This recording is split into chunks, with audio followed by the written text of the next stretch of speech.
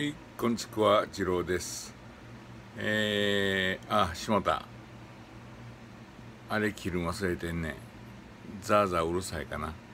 まあまあ、えー、ちょっとうるさ度チェックいうことで、えー、つけっぱなしやね。えー、でいきますね。えー、ちょっとね、えー、久しぶり、えー、半年ぶり ?3 ヶ月ぶり？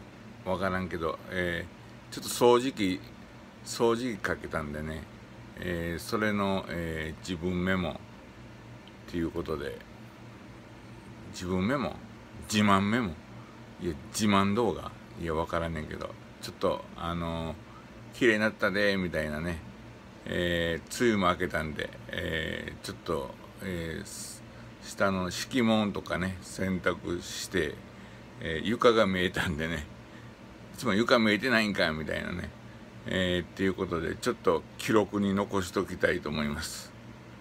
では、スタート何やねん、この指。はい、これが外ですね。えー、こういう感じでね、敷物、敷物っていうのかな。敷物とこれ、寝床。えー、敷物を洗いました。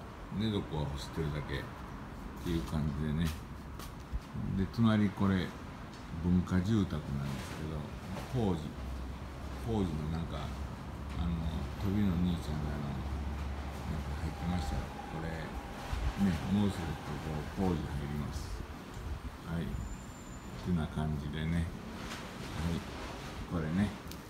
これ、2発ぶち込まれてます。ここもぶち込まれてる。セコも入ってます。いや、入ってません。ぶち込まれたやつね。危険ですね。で、こういう感じでね。これね。はい。これレスキュー、これ何？ルームツアー ルームツアーですね。みたいな。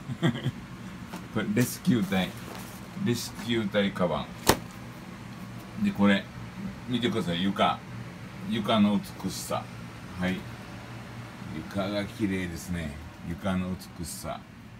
これ、ここいつもなんか敷物とね、なんか毛布とわけのわからんことやってるんです。これ、素晴らしいですね。はい、それだけ。ルームツアー。それが言いたかっただけ。はい、そんな感じです。これね。こっちから見たらこんな感じ。こんな感じね。床を見てくださいね。周りは見てください。床を見てください。床がのこの美しさ。はい。以上です。これね、これ換気扇。はい、ルームツアーやね。これ、サーキュレーター。さっき洗濯物かけとったやつね。これ風呂に窓がないんでね、いつもあの、こうやって風呂の、あのー、ね、湿気をあれするためにね、やってます。ますって、さん、キモいねんちゃうんですやってるんですね。イエっち。はい。っていう感じですね。えじゃあ、あの、もう一回床見る？もう一回床見る？はい。見納めですね。こんだけ綺麗な。はい。っていう感じです。はい。っていうことで、えー、またわけのわからん、えー、くだらん動画ですけど、まあ、あの、おっさんの床綺麗になったで、みたいなね。ルームツアーいうことでね。ワンルームツアーいうことで、はい。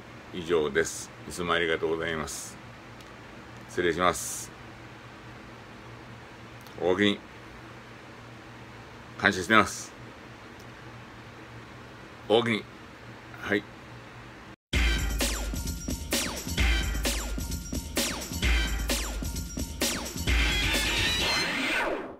チャンネル登録お願いします。